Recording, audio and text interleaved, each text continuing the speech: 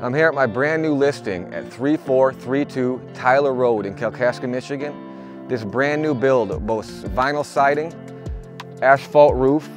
It's gonna have an eight foot by 50 foot cement front porch that's gonna be covered by the soffit here.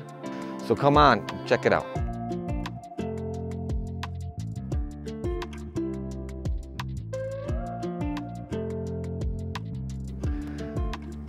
This home, when finished, is going to be a three bedroom, two bath, 1,500 square foot home. It's going to have engineered wood flooring throughout the home, carpeted bedrooms, large master bedroom with its own private bathroom.